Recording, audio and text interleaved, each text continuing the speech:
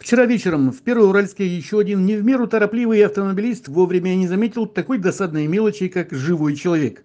Причем не абы где, а на его человеческой заповедной территории, где водятся зебры. Место происшествия – окрестности кафе «Клен». На улице уже темно, но на самом деле это вполне еще оживленный вечер, 7 часов. Условия для участников здешнего дорожного движения проще некуда. Висит знак «Пешеходный переход».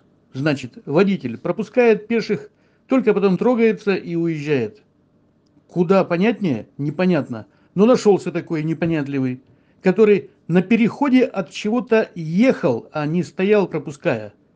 Вот он, 34-летний праворукий водитель Honda HR-V.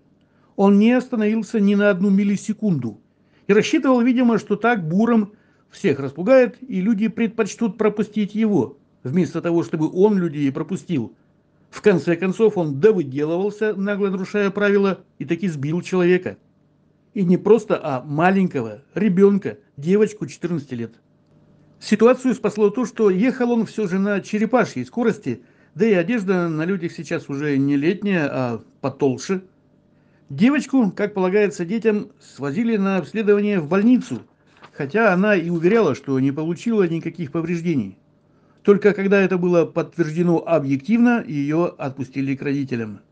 На водителя это тоже подействовало облегчающе, однако и без вреда для здоровья. За наезд на пешехода на переходе он ответит однозначно.